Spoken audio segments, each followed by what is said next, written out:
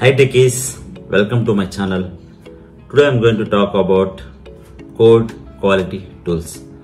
Code quality tools are very very important when you're doing software development. Even if even a programmer do the programming and if he writes lot of code and if it fails while compiling then there is no use. So code quality tools will help the programmer to fix the issues which are in code. Okay? So now we will start with one by one.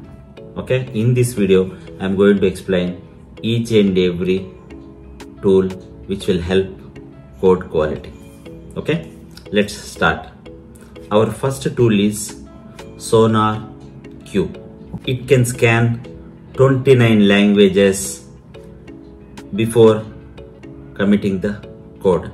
The biggest benefit of this tool is it will scan your code while you are writing. Okay? Our next tool is Codacy this is another tool in the market which will help to maintain the code quality. This tool will not help while doing the coding. Okay? Like SonarQube it will help to fix the issues while we do the pull request okay? When before going to commit the code in repositories it will stop if there are any errors. So you can fix the error then you can push. Okay? Our next tool is DeepSource.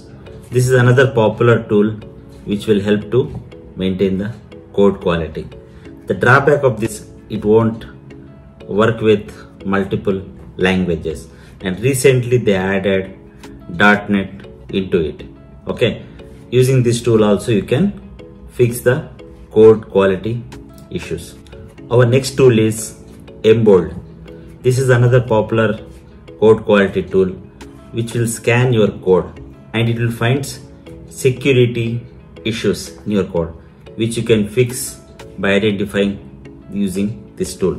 And another thing is it will check anti patterns in your code and you can find what are the anti patterns and you can fix it. Okay? Another tool to check in the market is vera code this is another tool which will help to fix the issues related to code quality.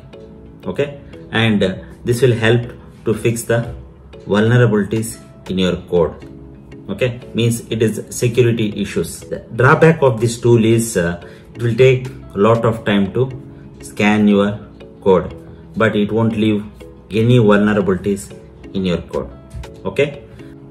I hope you understand the tools related to code quality and you will use this tool to fix your code quality issues.